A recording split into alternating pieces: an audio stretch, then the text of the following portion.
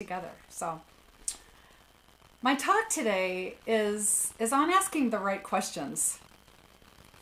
And I don't know if you ever ever heard this when you were growing up or when you were in any kind of school, but a teacher saying there are no stupid questions.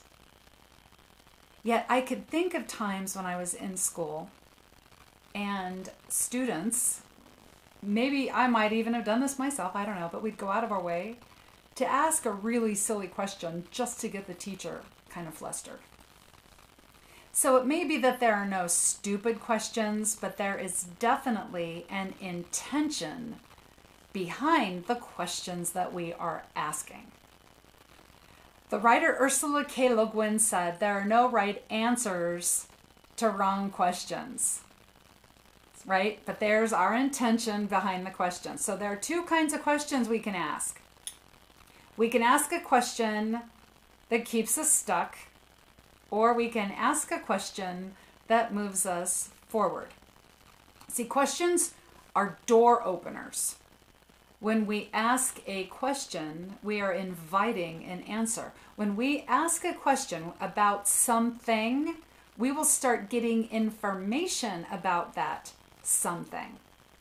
So if we're asking a question that keeps us stuck, that kind of question is where we're we're staying focused on the problem, where we're staying in victim consciousness, we're in victim mode when we ask the question. And that question might look like, why me? Why did this have to happen? Why isn't somebody doing something about this? Why does God let bad things happen? But if we're asking a why me question, we're going to get answers to just show why do these bad things always happen. So we might hear things like, well, because your parents didn't parent you right, or you didn't go to college, or you lack talent, or you're not good enough, you can't take care of yourself, you can't do math, right? Or or God only likes this particular religion or this particular hair color. We will start getting answers that support that we're a victim. Okay, and this has to do with our brain's reticular activating system, our RAS. That's why when we ask questions, we get support for that question. Well, what kind of question did we just ask? Are we focusing on what's wrong? And are we asking a question about the problem, being in the problem, about our suffering in the problem? Okay, so there's the questions that keep us stuck, and then there's the questions that move us forward. Because if a question is a door opener, if we ask a question to move us forward, we learn something new. And we move forward into a space where we now have a new opportunity to ask a new set of questions. We get new things to choose from every time we ask a question. For example, every week at the beginning of the week, I ask myself the question what do I want to talk about on Sunday? What do I want to talk about next Sunday that would be helpful to me? Because I feel like if it's helpful to me, then it's probably helpful to other people too. So I ask that question every week, like Monday or Tuesday. So this week, earlier this week, I asked that question and I got my answer when I was reading um, our book for our book club, The Storm Before the Calm by Neale Donald Walsch. And he starts talking about asking the right questions. So I got inspired. I made a choice, which then led me to the next set of questions. Uh, namely, like, well, what kind of questions are we going to talk about? How is this going to pan out? How am I going to outline my talk? I got taken down a different road than if I had decided to talk about the book, The Four Agreements. Okay, so over this last week, as soon as I asked the question, I received instruction, talk about asking the right question. Then everywhere I turned, it was like I was getting information about questions. I would hear or read in a completely unrelated book. You've got to ask the right questions, or you are asking the wrong questions if I had asked, if I had decided on the four agreements, my environment would have supported that, and I would have heard about not making assumptions or doing your very best with what you've got. So I asked a question, I received some input, I made a choice. It created a new environment to choose from. All right, that's what we do.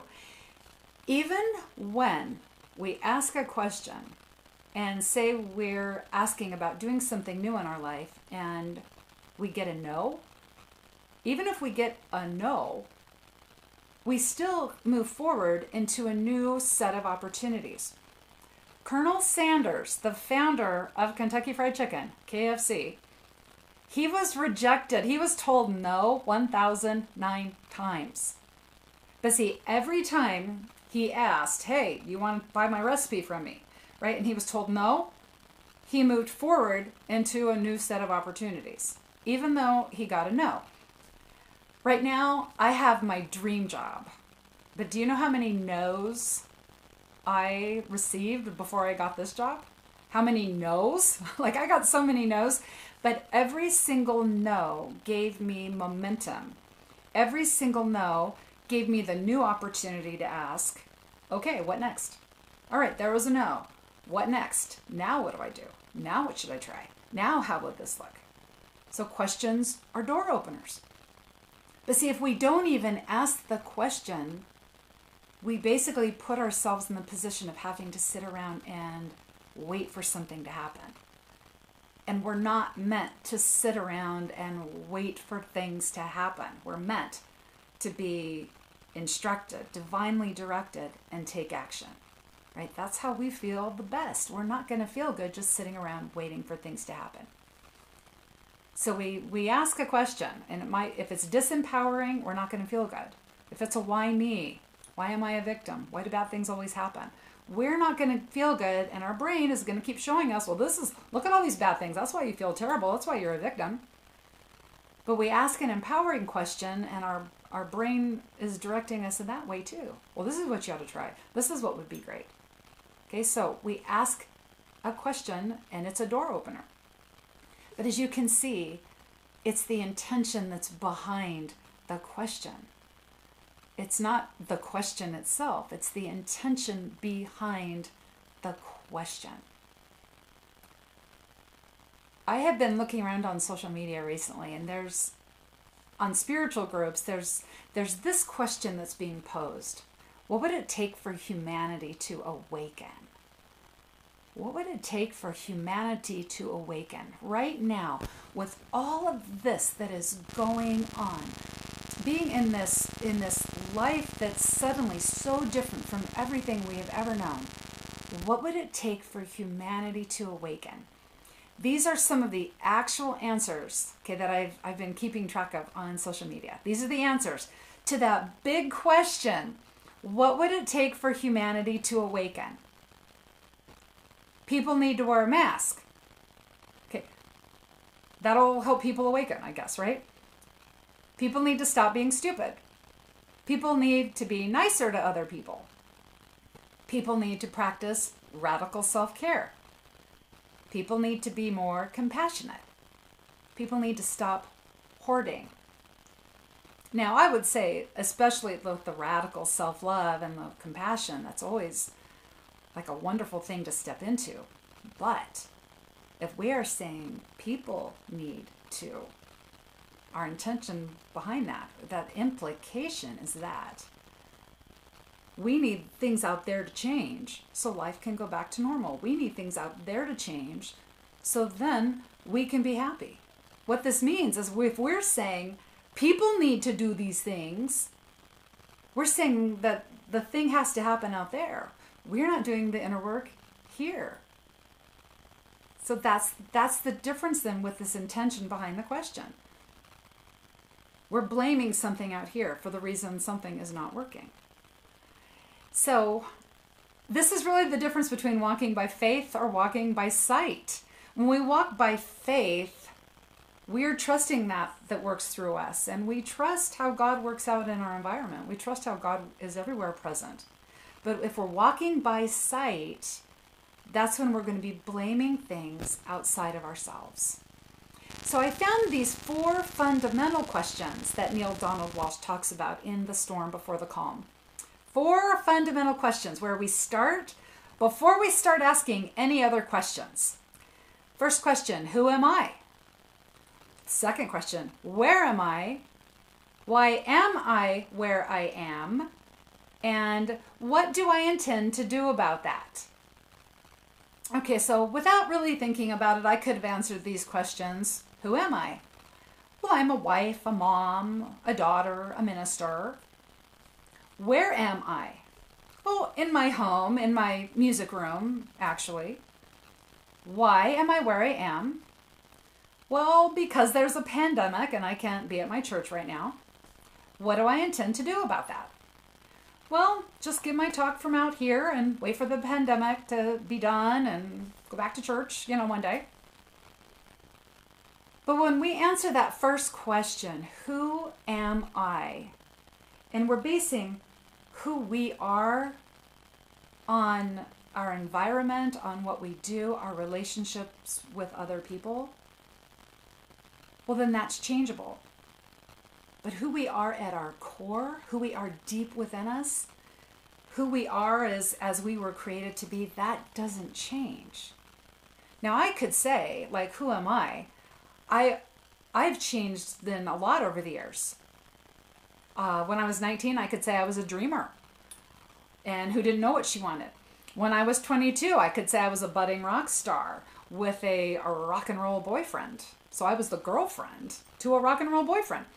Well, then he became my husband. So I could say, well, now I'm a wife and still a budding rock star. But when I got into holistic healing, I would have said, oh, I'm a healer. I'm a healer. What can we do about that for you? Let's get you all fixed up. When I had kids, I was a mom. That's what I was. I was a mom. Until I started homeschooling my kids. Then I was a homeschooling mom. Like now, I could say I'm a minister. But I've been a, a girl who cleans motels, motel rooms for cabins up in Idyllwild. I was a word processor and an administrative assistant. My hobbies, I could say, well, I'm a poet, a singer songwriter, a writer. Who am I? Then, when all of those things change, I've spoken with people who've lost a spouse or gone through a divorce, with people whose kids have grown up and left the nest, um, people who have lost their job or had to start a whole brand new job or they retired and they didn't know who they were because their idea of who they were was tied up with what they did, what they contributed, and who they interacted with. So, who am I?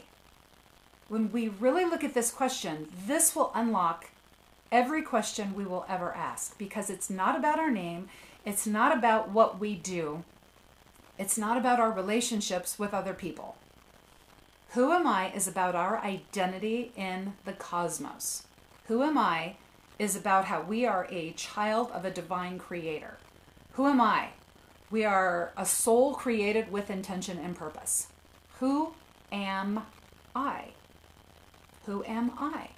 So we're asking every question in our life from two different perspectives either from the perspective of limitation and fear, or from the perspective of who we are as a divine child of a loving creator.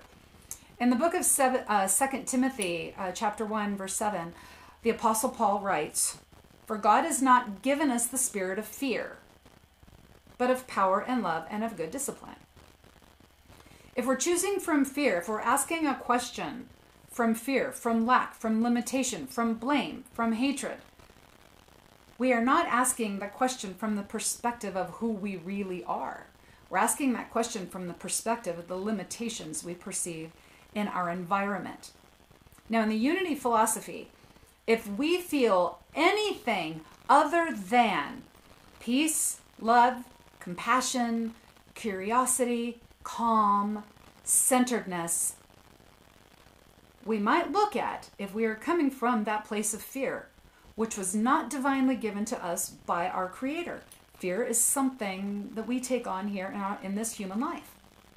Okay, so if we are feeling anything other than peace, love, compassion, calm, curiosity, creativity, centeredness, we go back to the unity principles, specifically the first one God is all things. God is all things. That is the first unity principle. God is all things because God is infinite and God is unlimited. And there is no obstacle that can block God. God is all things. Source is all things. Spirit is all things. Everything that's ever been, everything that is yet to be, everything that exists right now, and everything that is created through everything that exists right now. So, the ideas, the inventions, the activities that come through the mind of humanity to create greater good in this world. This is a way of God continuing to express itself through all of its creations. In the beginning was the Word, and the Word was with God, and the Word was God. The Word is intention and activity. God created the cosmos with intention and then activity. Now, we are also created in the image and likeness of God. We are here on this planet right now. That means that we are also part of this great all. We are also part of this. And because we are created in the image and likeness of our Creator, we create also through our word, our intention, and our activity. We create in our lives as the Creator of the all creates in the cosmos. So, who am I? I am an emanation of this source energy, created with purpose and intention. I am the activity of God in this world. That's what I am. That's who I am. I am that. I am. So that leads us to the next question, and the second question Where am I? Now, the question, Where am I? it becomes not about a physical location. Okay, where am I?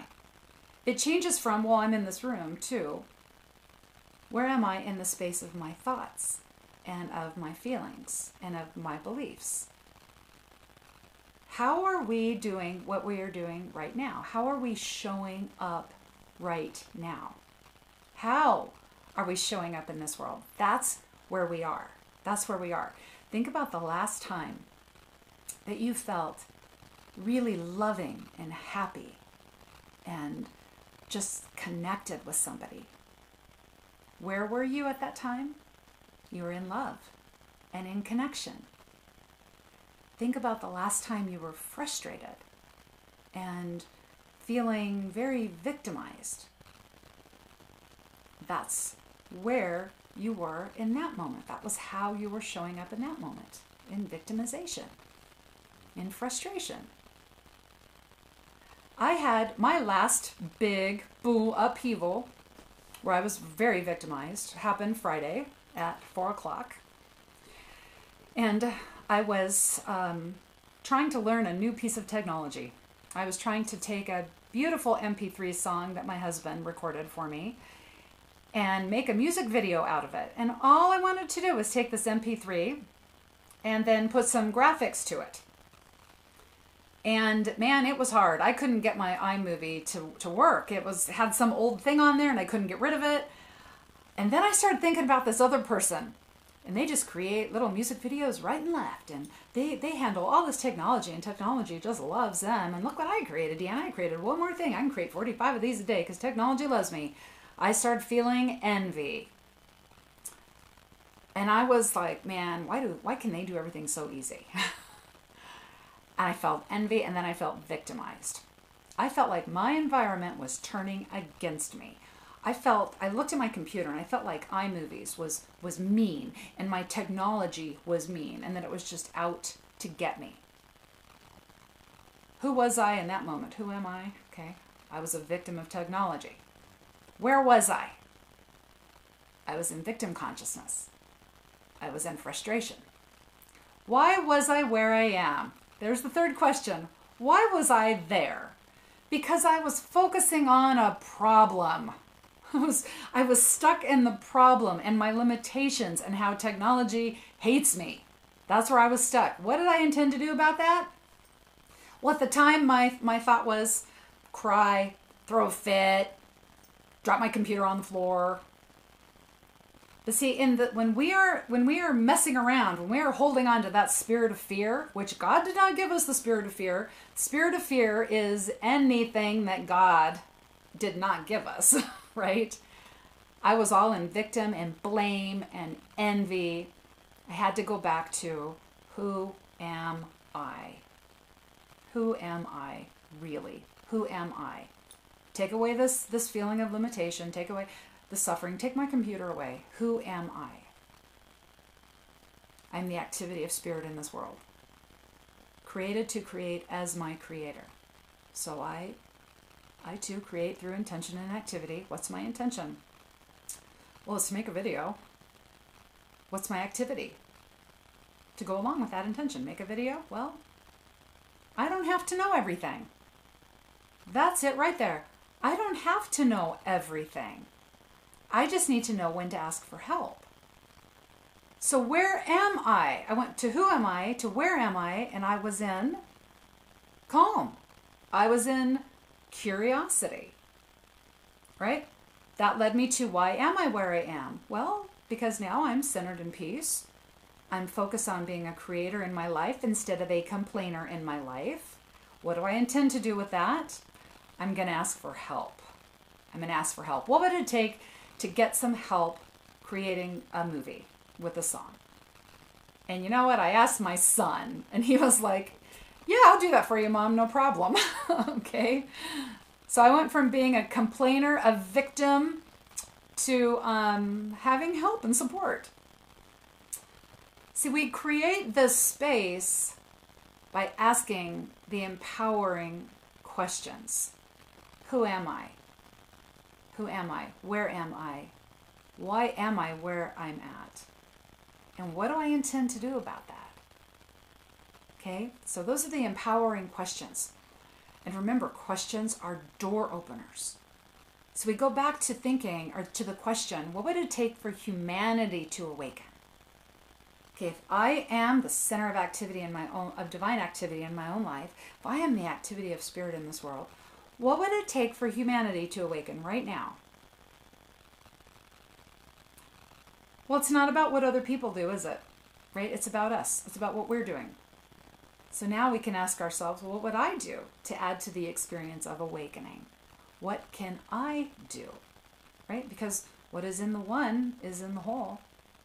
What can I do? So now we can move to these questions that empower us. Questions that empower us, move us forward. So we go past who am I, where am I, why am I where I am, and what do I intend to do about that?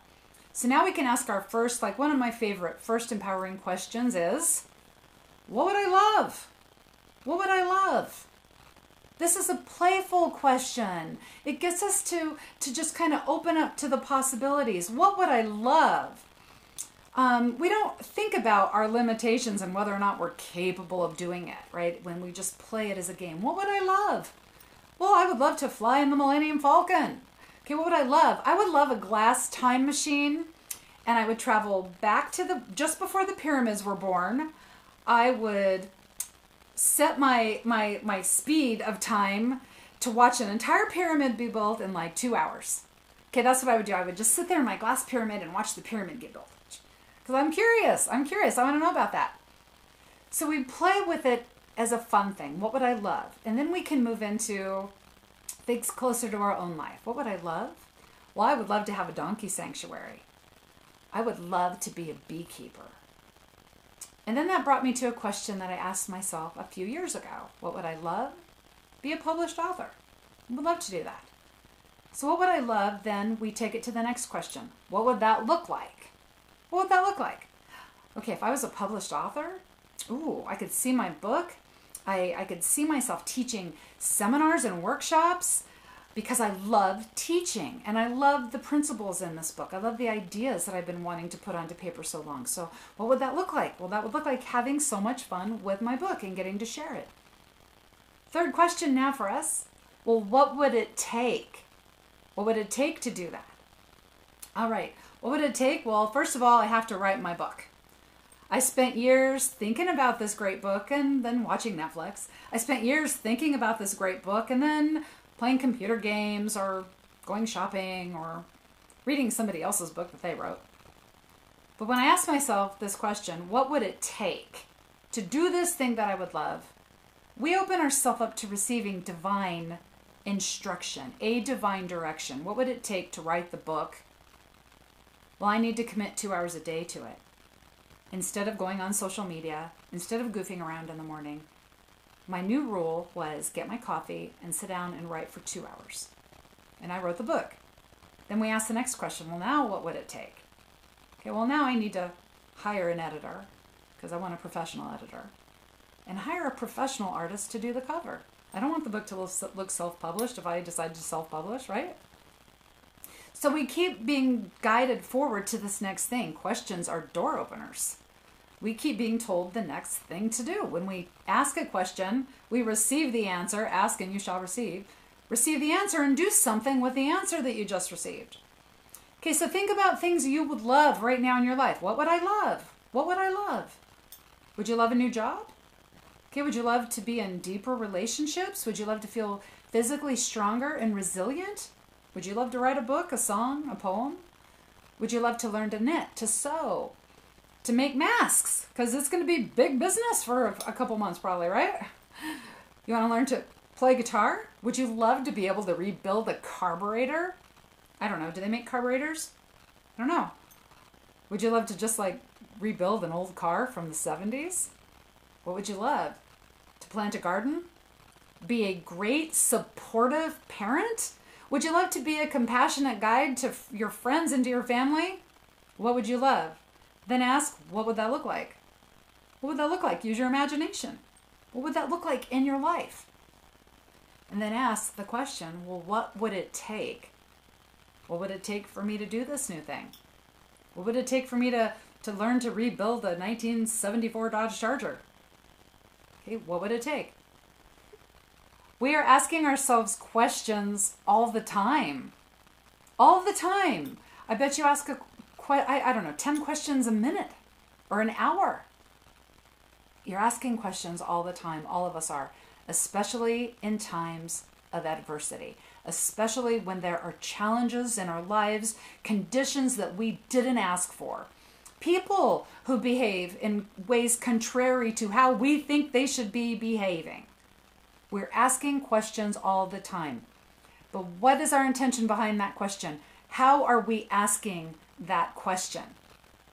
Are we asking it from a space of victimization? Okay, walking by sight and not by faith. Okay, why does this person have to do this? Why are they an idiot? Why can't they just do it this way? Okay, are we pointing our fingers at everything we're perceiving as wrong well, the implication there is we're not trusting how God is working in the rest of the world when we do that. Who am I? Who am I? That is where we start. Who am I? A divine child of a loving creator, created with intention and purpose. I am here exactly where I am supposed to be, to be the activity of spirit in this world. When we ask ourselves that question and remember, then we remember who and what we serve. We remember then what we do next matters. So, by asking those questions, we move forward.